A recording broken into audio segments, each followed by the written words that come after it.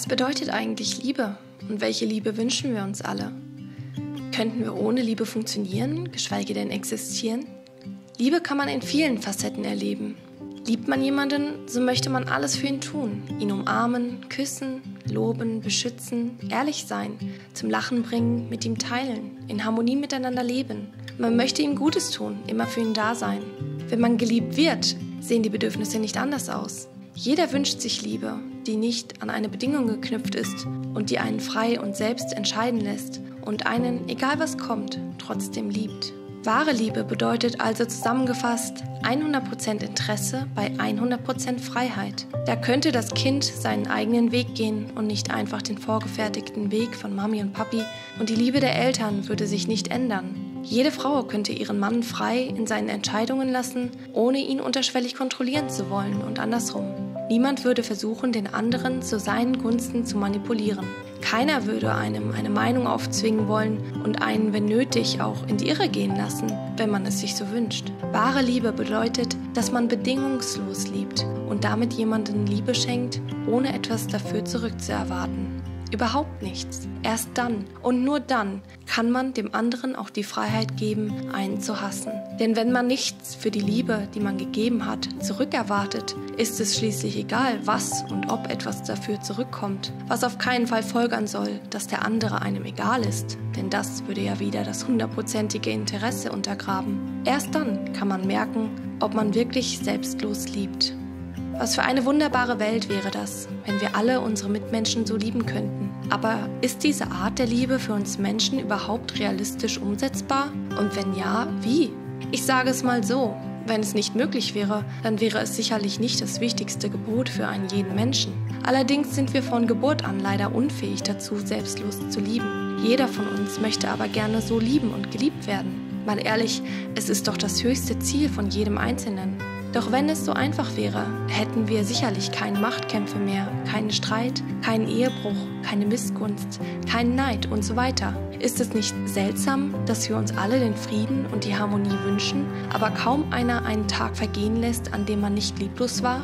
Selbst in kleinen Dingen. Das liegt daran, dass wir alle zuallererst an uns selber denken so sind wir gestrickt und wer das nicht sehen kann, sollte mal ganz ehrlich und offen auf die Motive seiner Taten schauen. Jeder ist sich selbst am nächsten.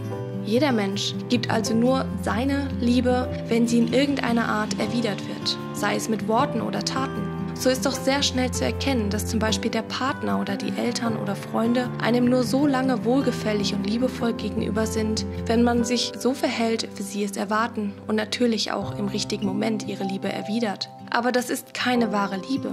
Sie ist eigennützig. Jetzt könnte man alle Menschen in seinem Leben dafür kasteien, aber man ist doch selbst nicht besser. Wir alle sind so auf die Welt gekommen, mit dem unnatürlichen Irrtum im Herzen, dass wir immer nur etwas geben, um etwas dafür zurückzubekommen. Sobald es nicht funktioniert, ist es ganz schnell vorbei mit der nächsten Liebe. Das kann in ganz kleinen Dingen sein, sei es, dass man nicht respektiert wird oder anerkannt, gelobt, gepriesen, zurückgegrüßt. Jeder kennt dieses Gefühl der Ablehnung oder dass man jemandem egal ist. Und da ist es auch völlig unwichtig, ob die Menschen fremd sind oder vertraut. Wir erwarten den Dienst und die Liebe unserer Mitmenschen und glauben zu lieben, aber das tun wir häufig nicht. Denn was nützt es, wenn man für sich selbst jemanden liebt und nicht für das Wohl des anderen? Und was nützt es, wenn man nur die liebt, die einen zurücklieben? Das ist doch nur ein Tauschgeschäft. Es ist, als würde man sich gegenseitig sein halbleeres Wasserglas hin und her schütten, bis kein Wasser mehr da ist. Wahre Liebe würde doch nicht versiegen und vor allem würde sie nicht beschmutzt sein, wie das abgestandene selbstsüchtige Wasser unserer Gläser, die wir uns gegenseitig zuschütten. Wir glauben, dass wir eigene Liebe hätten, die wir weitergeben könnten. Aber wenn das so wäre, warum sucht dann jeder nach Liebe? Wenn wir sie doch selbst herstellen können, dann bräuchten wir sie doch nicht woanders suchen. Die menschengenutzte Liebe ist immer nur abgestandenes Wasser eines anderen. Wir können Liebe nicht selber herstellen. Somit ist es auch töricht, sie bei anderen Menschen zu suchen. Egal in welcher Facette.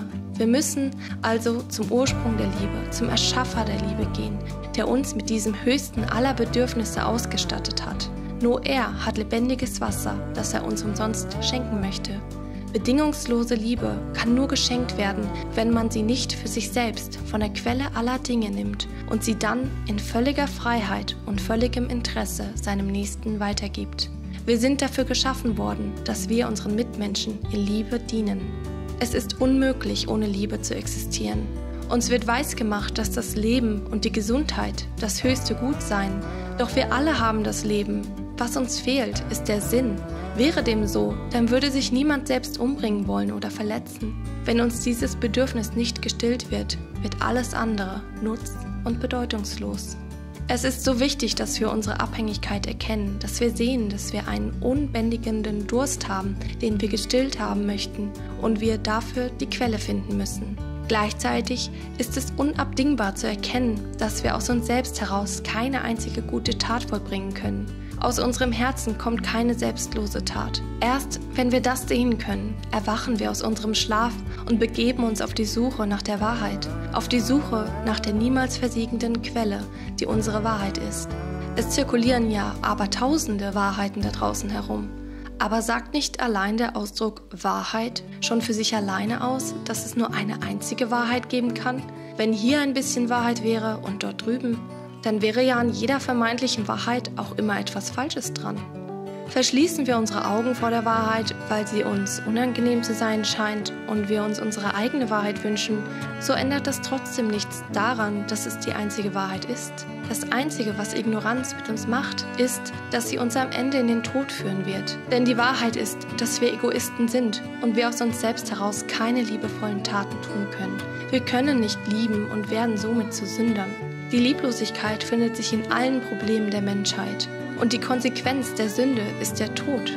Doch sind wir mit diesem Schlamassel nicht alleine gelassen worden, sondern können Erlösung von diesem Zustand bekommen und damit frei werden und ewiges Leben erhalten, wenn wir unseren Erretter in unser Herz lassen, an ihn glauben, ihn annehmen und ihn uns reinwaschen lassen. Denn er ist für uns auf diese Welt gekommen, weil er uns so unendlich liebt und nicht möchte, dass auch nur einer verloren geht. Er ist gekommen, um die Last unserer Sünden ans Kreuz zu nageln und damit die Konsequenz unserer Taten zu tragen. Er weiß, dass wir nicht anders können und bietet uns an, mit ihm gemeinsam unser Herz zu verändern, so dass wir wieder so funktionieren können, wie es uns allen zum Glück und zur Erfüllung gereichen kann. Indem wir nur alleine von Gott alle unsere Bedürfnisse stillen, sind wir frei von allen Menschen, weil uns niemand mehr etwas schuldet. Nur dann können wir mit seiner göttlichen Liebe unsere Mitmenschen bedingungslos lieben und erfüllen damit unseren Zweck auf dieser Erde. In der Welt habt ihr Angst, aber seid getrost, ich habe die Welt überwunden.